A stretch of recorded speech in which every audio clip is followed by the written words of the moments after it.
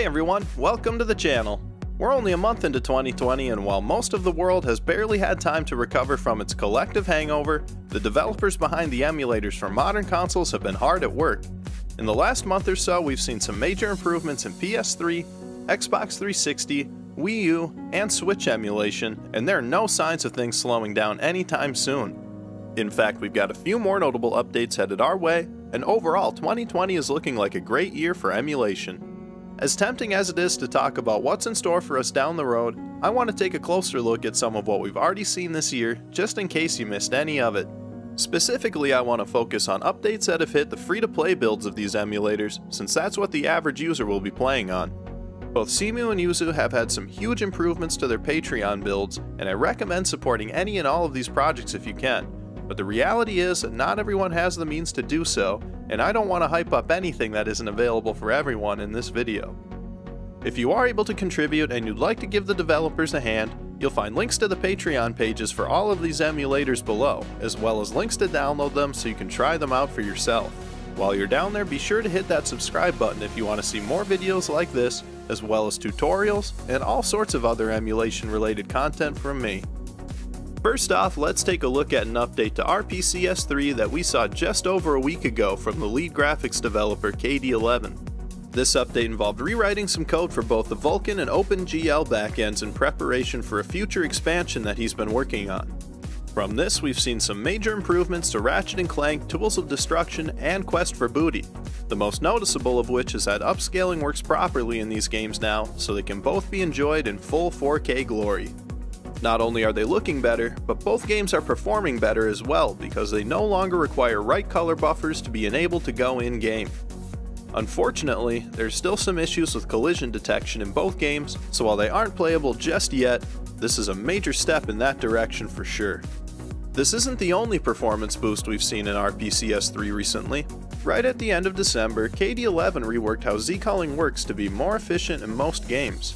The RPCS3 team made a great video on this update, so I recommend checking that out if you haven't already, but you can see some of the improvements in the footage I'm showing here. Along with this global improvement, a relaxed Z-cull sync setting was added to the Advanced Settings tab. While this setting negatively impacts most games, a handful of titles will get a substantial bump in performance by enabling it. Metal Gear Solid 4 seems to be impacted the most, with performance doubling in some areas with this setting enabled, Red Dead Redemption also gets a fairly consistent bump of 10 to 20% depending on what's happening on screen. With this update, you can see that RPCS 3 is catching up to Xenia in terms of how this game performs. Unfortunately, both of these games are still quite unstable, so they're not playable on this emulator just yet. We did get another tool to help with stability though. This month also saw the addition of a setting called Driver Wake Up Delay, which can increase the stability greatly in some games. One last update we got for RPCS 3 came in the form of a patch that disables morphological anti-aliasing or MLAA in a handful of games. This isn't a global speed hack, but it does allow for a decent bump in performance in some games that load MLAA in a particular way, although some of the affected games may see graphical issues with this patch enabled. You'll find a link in the description to a patch.yml file containing this patch, as well as several others that you may find useful. You'll also find a link to my video on patching games in RPCS3 if you have any questions about the process. Around the same time that we received the Z-cull update to RPCS3, we also received an update to Yuzu that increased compatibility, allowing us to run Mario Tennis, Crash Team Racing, and more on the emulator. This update also brought along some graphical fixes such as more shadows rendering correctly in a number of titles like the Pokemon games and Luigi's Mansion 3, a patch has also been created to remove the shadows from Mario Tennis, making it a much more enjoyable experience overall. Super Mario Odyssey also received a patch that removes all of the non-shader cache related stutter by removing the audio from the game. The developers have since figured out a way to remove the stutter while keeping the audio intact, so while I said I didn't want to focus on things that are in the Patreon builds only, we should expect to see this one hit the mainline version relatively soon.